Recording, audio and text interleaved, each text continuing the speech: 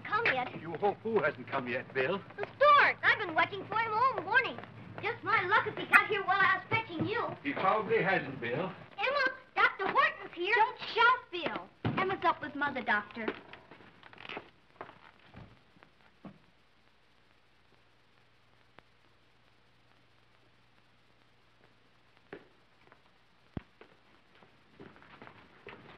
Oh, gosh, I'm glad you're here, Doctor. Emma, I'll need some hot water. Yes, um, you better go right on up.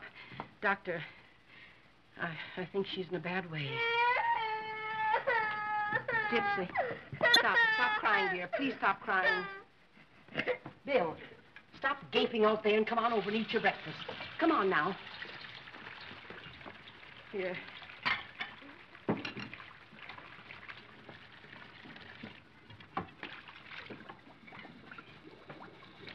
Emma, Hmm. if the stork's going to bring the baby, why does Dr. Horton have to be here? Why, to welcome it, of course. Oh. I hope it's a boy. I got enough sisters. Now, don't talk like that. You've got two very nice sisters. Gypsy, will you please stop crying?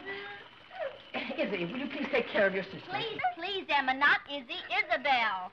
Does he carry the baby wrapped up in a blanket or just any old way? Don't be silly, Bill. Storks don't bring babies. No, you don't know anything about it. Oh, don't I? Eh? Oh, what's the matter, Gypsy? What are you crying about? Nothing. Yeah, well, I thought so. Well, Now, listen, if you stop crying, Emma will tell you a nice story after a while now. Bill, will you stop gazing out of that door? Now, stop crying, Gypsy. Isabel, take care of the children. Ooh, there he is. Here comes the stork now. Oh, it's only a hawk. Uh, is Emma with your mother? Yes, Father.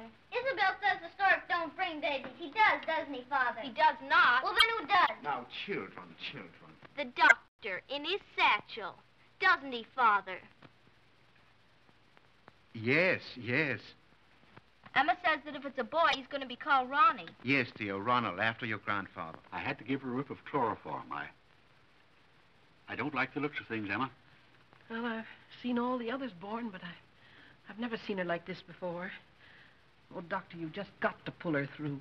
I'm doing my best. I, I'll need some more towels, Emma.